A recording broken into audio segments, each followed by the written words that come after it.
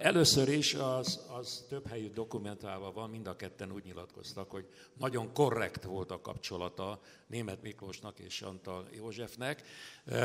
Német Miklós adta át ugyanis a, a, a kormányt, és többek között nem csak a kormányt, hanem bizonyos iratokat is, amik, akikkel, amikkel még rendelkezett, de ő volt az, aki már akkor felhívta a figyelmet arra, amit ő később a memoáriában le is írt, hogy teherautó karavánnal vitték ki az oroszok a, a titkos ügynökségeknek a dokumentumait, Tudva lévő ugyanis, vagy ha nem tudva lévő, akkor tessenek tudni róla, hogy az egész magyar titkos szolgálat az KGB ellenőrzés alatt működött, és minden olyan szállat, ami a KGB főnökökhöz vezetett, azt elmetszették, és ennél fogva nem lehet tisztalapot nyitni a ügynök, ügynök ügyben. Lehet vadászgatni erre, arra, de azt mondani, hogy, hogy magyar dokumentumok alapján, elérhető dokumentumok alapján tisztában lehet lesz, nem lehet tenni. Ezért is volt Antalnak,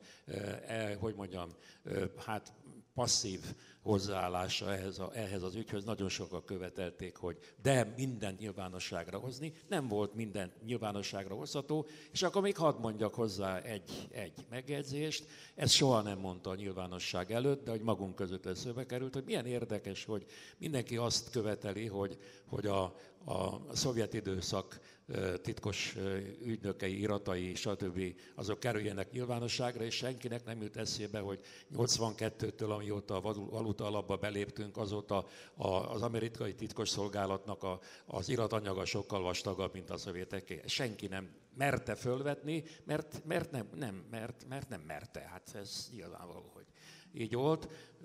És itt hadd mondjam el, bár most már különösebb kockázata nincsen, hogy hogy a Boros Péter szeptemberben, 90-ben kint van Antal Józseffel Washingtonban, Bush elnök fogadja Antal Józsefet, Boros Pétert pedig a, a CIA vezérigazgatója, és az volt az első kérése, kérdése a vezérigazgatónak, hogy, hogy miniszterelnök úr, akkor ugye remélhetem, hogy a, a bennünket érintő anyagait a titkosszolgálati iratoknak, azokat a rendelkezésünkre bocsátja. Azt mondta Boros Péter, hogy természetesen, de csak kölcsönösségi alapon.